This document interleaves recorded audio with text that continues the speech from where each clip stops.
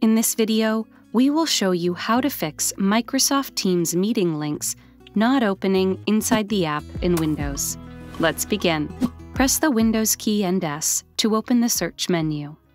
Type Default Apps in the box and press Enter.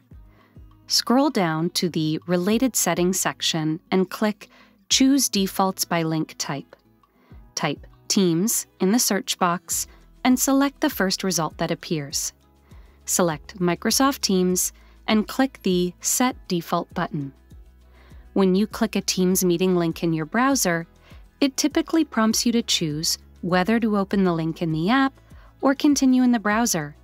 However, if you don't see such a prompt, there may be an issue with your browser settings. To check for this possibility, open the Teams link in another browser on your PC. If it works in the other browser, you may need to reset the settings in your default browser to fix the issue.